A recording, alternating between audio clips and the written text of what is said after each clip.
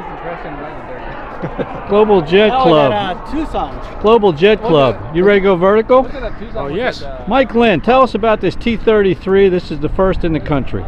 Yes, uh, this is the uh, the Aerojet T33 p- uh, plug and play. Uh, it's a two liter jet. It comes with the uh, Ace 80 size turbine, servos, everything installed, and uh, you got light navigation, light scale cockpit, um, everything all pre-assembled at the factory. So we are about to uh, get it ready to have it, you know, first flight on this. All right. Good luck with the new T33 available from globaljet.club. Thank you.